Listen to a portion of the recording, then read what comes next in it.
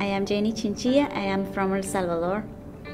I have improved so much. For example, speaking in public, and writing also, and listening. Um, so I think this is the skills I have improved. improved.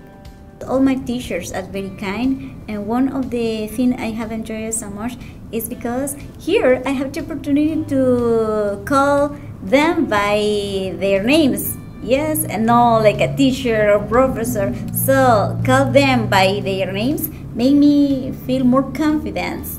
Places here I like it because uh, are accessibility.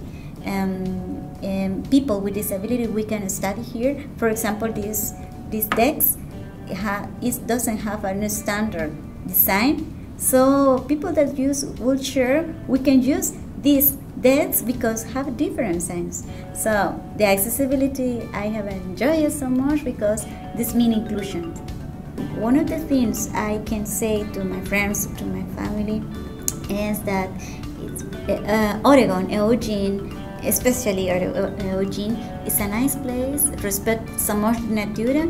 Um, there is space for the diversity and for the respect uh, of uh, any people, for example, and uh, it's a nice place to learn about other culture because uh, Eugene has people that are a lot of places and a lot of countries of the world.